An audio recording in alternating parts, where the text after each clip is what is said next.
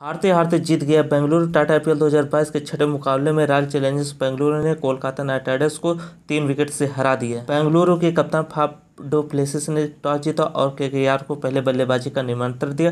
KKR की team अठारह दशमलव पाँच ओवर में एक सौ अट्ठाईस रन बनाकर ढेर हो गई। लक्ष्य का पीछा करने उतरी आरसीबी की टीम उन्नीस दशमलव दो ओवर में तीन विकेट शेष रहते एक सौ बत्तीस रन बनाकर मैच को जीत लिया। लो स्कोरिंग मैच में सेफन रदरफोर्ड अट्ठाईस रन, शहबाज अहमद सत्ताईस रन और दिनेश कार्तिक ने चौदह रन की पारी खेलकर बेंगलोर को तीन विकेट से मैच को जिता दिया।